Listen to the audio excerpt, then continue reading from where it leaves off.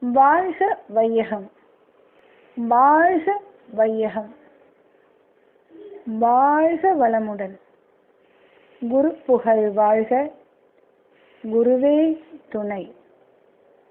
மா கோலமாய் விளைந்த மதி விருந்து.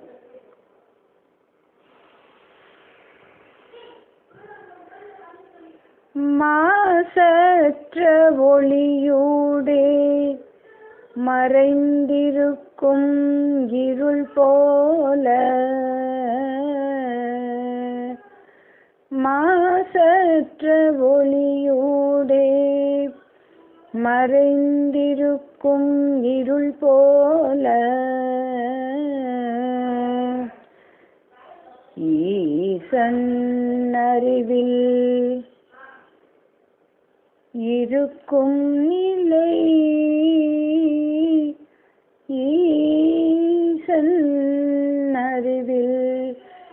இருக்கும் நிலை.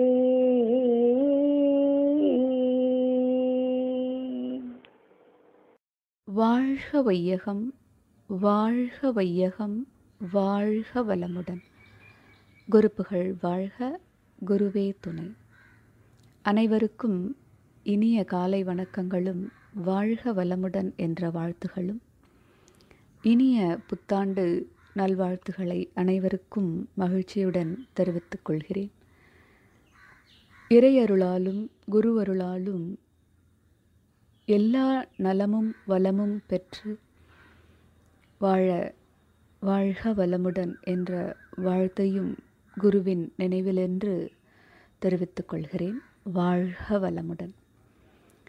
வேதாத்ரி மகரிஷி அவர்கள் மார்கழி மாதத்தில் எழுதிய உரைநடை கவிதைகள். மாக்கோலமாய் விளைந்த மதிவிருந்தில் தொகுக்கப்பட்டுள்ளன.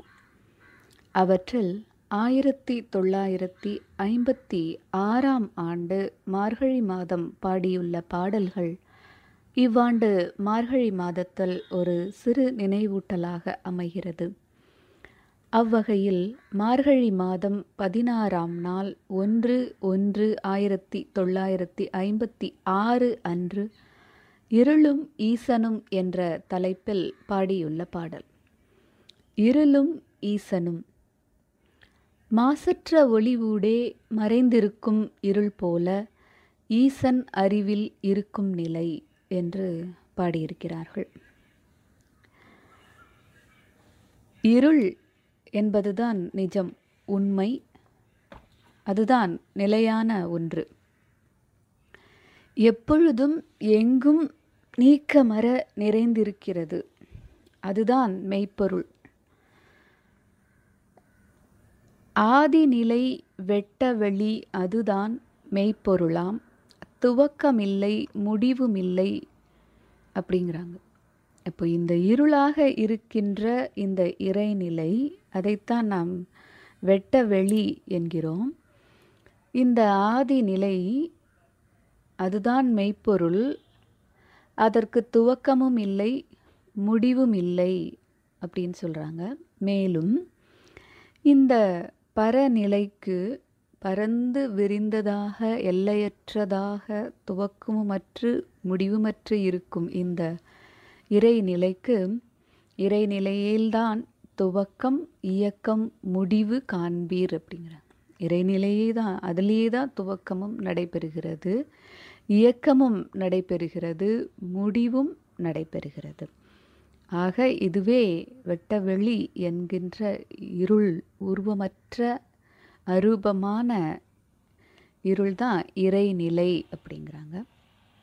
இந்த இருள் ஒளியினுள்ளே இருள் எப்படி இருக்கிறதோ கலர்ந்து ஊடுருவி இருக்கிறதோ அதை போலவே இறைநிலையும் அறிவில் இருக்கிறது கலந்து இருக்கிறது என்று கூறியிருக்கிறார்கள்.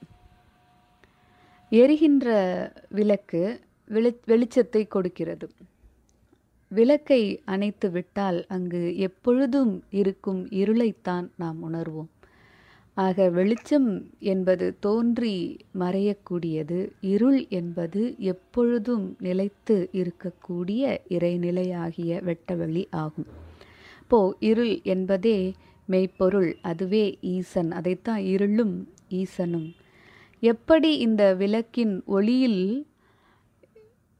இருள் ஊடாக இருக்கிறதோ அதே போலத்தான் இறைநிலை அறிவாக இயங்கிக் கொண்டிருக்கிறது. ஈசன் அறிவில் இருக்கும் நிலை அப்படின்னு சொல்கிறாங்க மகரிஷி ஒரு இடத்துல சிவத்தை அறியும் அறிவு அப்படின்னு அறிவு வந்து சிவத்தை உணர்த்துவது எப்படி அப்படின்னு சொல்லும்போது சிவம் என்னும் பூரணத்தை வெளியென்றே உணர்வீர் அப்படின்னு. சிவம் என்று சொன்னாலும் இந்த ஈசன் சொன்னாலும் அது வெளி அதுதான் அதை முதல்ல நம்ம தெரிஞ்சுக்கணும். சிறப்பான அதன் இயக்க ஆற்றல் அறிவாகும். இருப்பு நிலையாக இருக்கும் பொழுது அதை வெளி என்கிறோம் சிவம் என்கிறோம். அது இயங்க ஆரம்பிக்க நிலையில்தான் இயக்க நிலையாக இருக்கும் பொழுதுதான் அது அறிவாகிறது அப்படிங்கிறாங்க. சிவத்தன் முதல் இயக்கம் சீர்மை பெற்ற விண்ணாம். அந்த சிவமாக இருக்கக்கூடிய வெட்ட வெளியின் இருளின் முதல் இயக்கமாக இருக்கிறது சீர்மை பெற்ற விண்ணாம். இயக்க ஒழுங்கோடு கூடியது அந்த விண் சீர்மை என்பது இயக்க ஒழுங்கு. அந்த வின் தான் எட்ட வெளியின் ஈசனின் முதல் இயக்கம். சித்தரெல்லாம் சக்தி என்றார். முன்னோர்கள் சித்தர்கள் அனைவரும் அதனை சக்தி இயக்கத்தை இறைநிலையின் இயக்கத்தை சக்தி என்று அழைத்தனர்.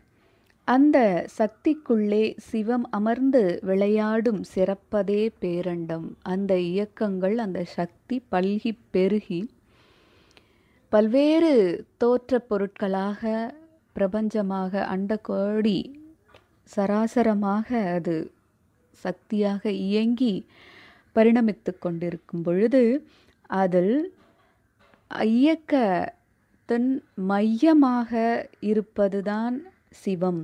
சிவம் அமர்ந்து விளையாடும் மையமாக அதன் இயக்கத்தின் ஆதாரமாக சிவம் இருந்து சக்தியாக வெளிப்பட்டு பேரண்டமாக காட்சியளிக்கிறது.